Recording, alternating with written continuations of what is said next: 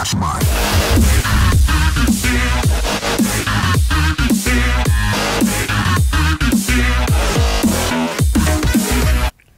guys, I'm going to be doing some animation with this easy program. It's called Pivot Animator. It's a really nice program and it's really basic for some people.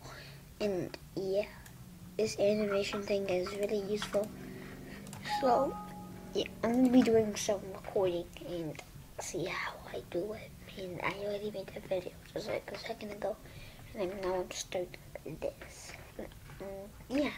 Let's get to it. Oh, by the way, when you download this program, you're gonna have to read some things because it's gonna try to get you some other programs. So press I disagree or something, something like that. I know. Um, you say like stuff. I'll just show you some things. Wait. Uh. Anyway, yeah. Let's get right into it.